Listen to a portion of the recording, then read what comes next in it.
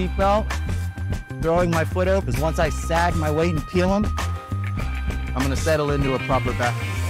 BJJ for breakfast.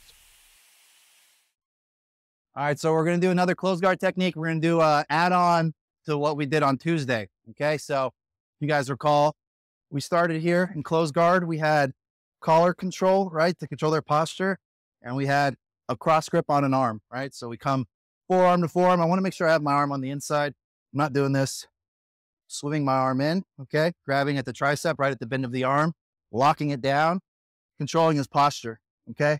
What we did um, Tuesday was we did this little drag across, right? Remember this? Cupping the neck, grabbing the tendon, shooting underneath the arm.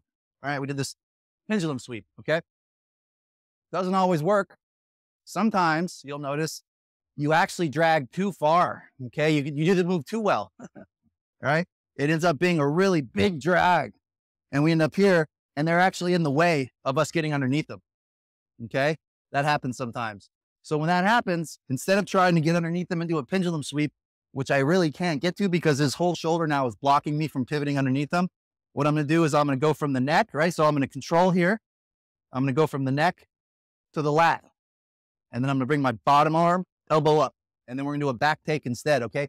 The entire time I'm doing this, I'm pulling my belly into him because I don't want him to get this arm out. It's going to be just like we did in the gi class, right?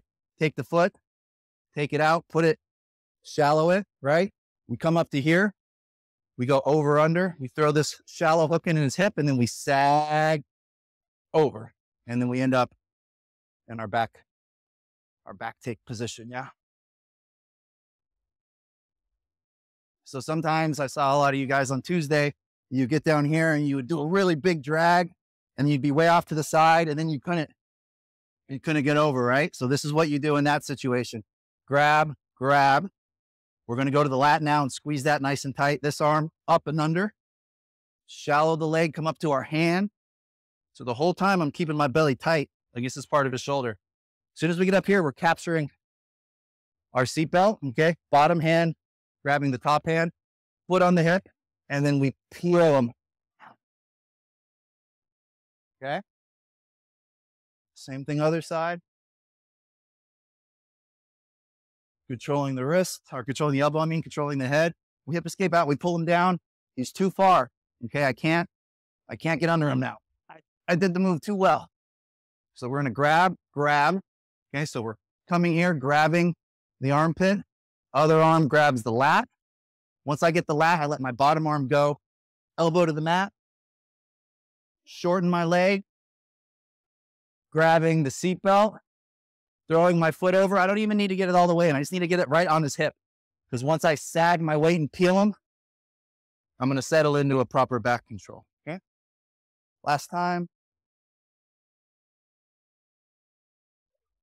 We control the arm, we control the head, we drag, we grab, we grab, right?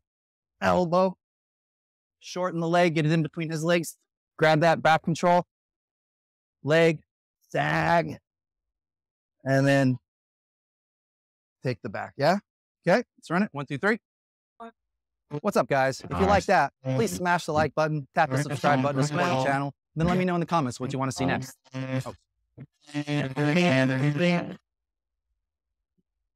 Oh. Okay.